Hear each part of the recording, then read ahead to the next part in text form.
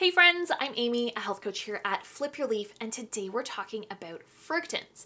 Now, fructans are oligosaccharides, which is the O in FODMAP, and all that means is that they're 1 to 10 molecules bonded together. Now, you can find fructans in a variety of places. They are in vegetables, they're in fruits, sometimes they're just listed as dietary fiber, like they're a weird gang.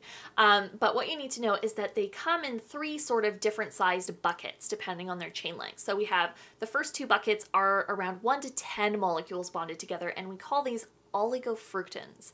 The third group of fructans are 10 or more molecules together, and this is what we call inulin.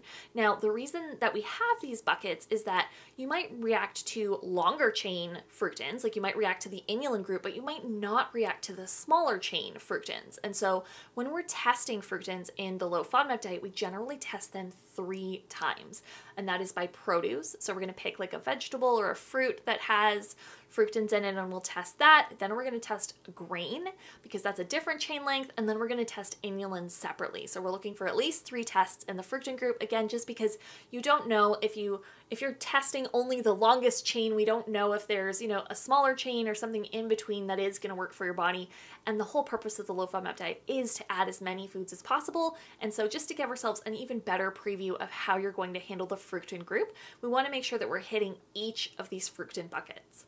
So here's a fun fact. Our bodies don't actually make an enzyme to digest fructans. And that means that when you're eating foods that contain fructans, they're arriving in your colon essentially unchanged. And this is why many foods in the fructan arena are called prebiotics. They're food for your gut bugs. So I know what you're thinking. I thought the whole point of the low FODMAP diet was to remove foods that are easily fermented by our gut bugs to sort of quash that little gut bug fermentation party that we're having in our guts because it's painful. The, you know, the receptors in our gut getting overextended, you know, having all of these painful events, that abdominal pain, that cramping. I thought this is what we were avoiding, but there are some essential jobs that are involved in this fermentation process. Like during fermentation, some of these gut bugs are making short chain fatty acids that our bodies can't make on our own. They are helping us absorb calcium, which we need for muscle health and, you know, bone health and brain function. They are helping suppress pathogens for our immune system. Like they're really supporting our body. And this is why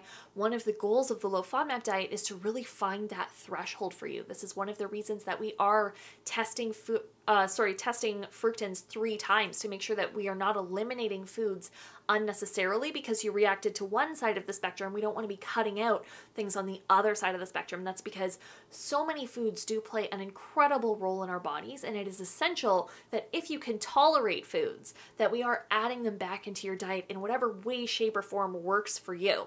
So, just to recap our idea for today, Fructans are oligosaccharides, which are the O in FODMAP, and our body doesn't have an enzyme to break them down, which means when you eat them, they're ending up in your colon, your large intestine, basically the same way they were when they came in, and that is because many foods under the fructan category are actually a kind of fiber called prebiotics, and that is food for your gut bugs. And we talked about how many important roles your gut bugs play, and so it's really important that we are, you know, giving them a healthy diet as well. Now, if you need more information on IBS, on how your body works, you want some tasty low FODMAP recipes for your elimination phase, make sure to check out my website, the FODMAP Formula. I have a ton of information. There's new stuff going up there all the time. There are a billion ways to connect with me. I'm going to pop the link below. Make sure you come and visit me. I have so much stuff to share with you, and I'm so excited to help you on this low FODMAP journey. But before you go, don't forget to subscribe to my channel. You're gonna get a ton more information on IBS, FODMAPs, and how to make your body feel like home. I'll see you in my next video.